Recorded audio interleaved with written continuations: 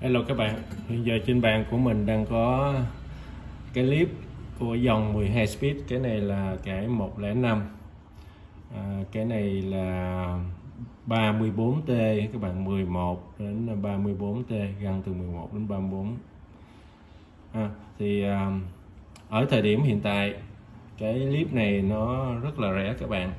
Giá nó là 850 ngàn trong khi đó cái thằng à, Utaka G8100 CS á, thì nó hiện giờ người ta đang bán là 1 triệu 8 đến 2 triệu. Nghĩa là mình cứ mua cái clip này à, giá chưa được phân nửa nữa à, mình gắn vô mình tập luyện đồ gì đó.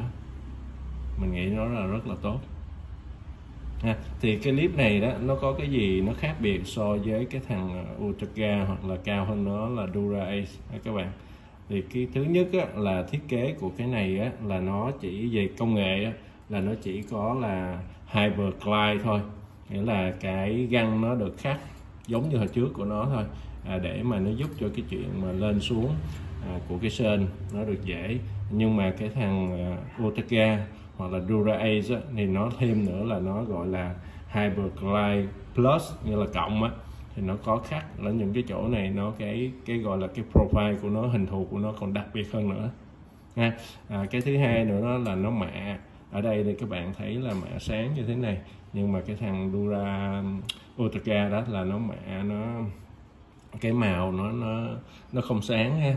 À, và nó nó nếu người ta nói chính xác là nó nó sẽ bền hơn à, nó sẽ chống gọi là um, cọ sát đôi gì mòn à, tốt hơn so với cái này. Ok các bạn.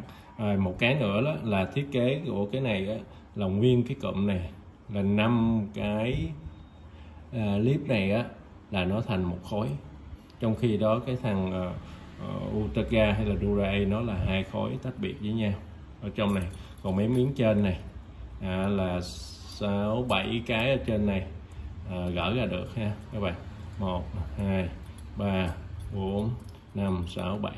À, mấy cái này gỡ ra được. Thì nó à, 12 speed thì nó có thêm cái chữ ở đây là à, 12 speed rod thì cái này á, là nó được gắn vào cái cối cối HG11 à, gắn cũng được ha. Còn nếu mà chuẩn thì mình xài cái cối micro à, à micro spline hay là gọi là có thể gọi là đọc là micro spline gì hả? hình như là chữ là à, uh, spline ha. À, thì mình gắn vô nó rất là ok ở chỗ này. À, thì uh, nó nặng hơn tí. Ha nhưng mà đối với mình đó, cái, cái giá mà nó rẻ như thế à, tại sao mình không mua? À, gắn vào rồi mình có thể tập luyện gì trên đó mình không sợ mòn. À, hờ mòn thì mình dục ra. À, khi nào mà bạn muốn chạy rồi là thi đấu rồi gì đó thì bạn gắn cái ghẻ vô. Cái cái um, nhỏ hơn ha. Rồi cái nhỏ hơn cái mắc tiền hơn là uh, Utaka hay là Dura Ace. Mình bỏ vô ha.